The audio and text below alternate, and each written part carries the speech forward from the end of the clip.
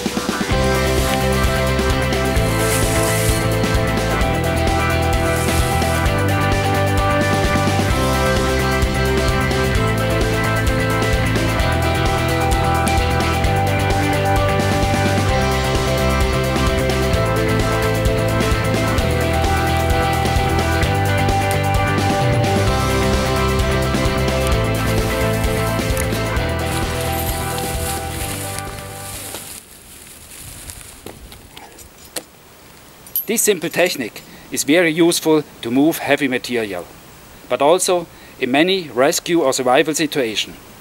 I hope you like it and you will join Taro Movies the next time again. Thanks for watching, tschüss, ciao and bye bye.